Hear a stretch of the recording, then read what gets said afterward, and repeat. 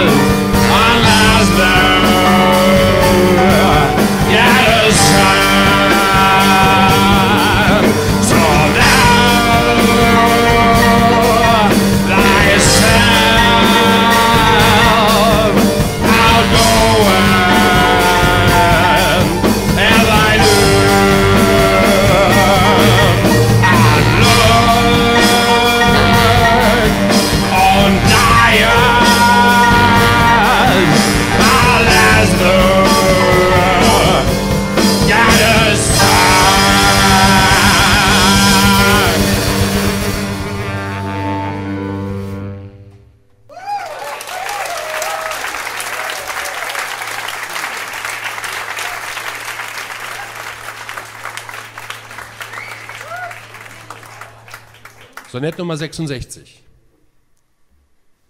Den Tod ersehn ich, müd es anzusehen, wie sich Verdienst verhüllt im Bettlerkleide und hohles Nichts sich darf im Prunke blähen und Treue wird verkauft durch falsche Eide.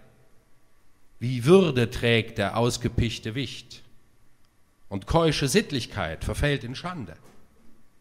Und echte Ehre lebt im Gunstverzicht und Majestät im schlotternden Gewande.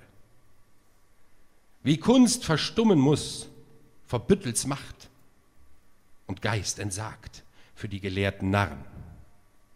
Und Wahrheit wird als Torheit ausgelacht und Güte muss des Winks der Bosheit harren. All dessen müd hielt ich den Tod für Glück blieb meine Liebe einsam nicht zurück.